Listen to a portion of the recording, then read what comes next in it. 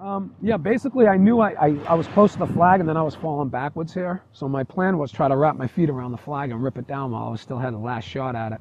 I came up and I seen them all coming out after the pole towards me, running at me. And I looked and then I found the flag in front of me floating. I was like shocked. I never was an athlete. I was very lucky the year I won it. It's, it's all in the feet. It's how you place your feet.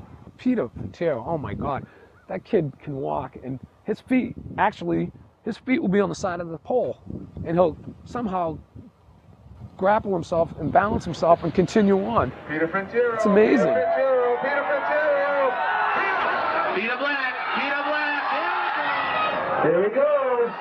One more time. So I used to walk everything in the city. Pretend I was Mata or my cousin Samo or Salvi.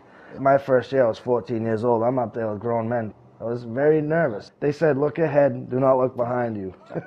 Because those, those guys are crazy back then. There was a lot of crazy characters up there. Peter's walking. Peter, oh. What's he doing up here? He's not supposed to be here. Took him a couple years to win it. I don't know, my first year I won it. Oh, oh, that was in 84? Yeah, first year ever. Never stepped foot on that platform in my life. I'll never forget my first experience of, you know, up there and witnessing it. split my chin. Got six stitches here. That's uh, for life. Uh, broke uh, ribs twice.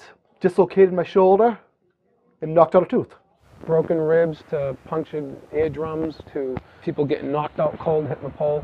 He come up, he says, Mats, I, he had a big clump. He says, I think I'm bleeding right there.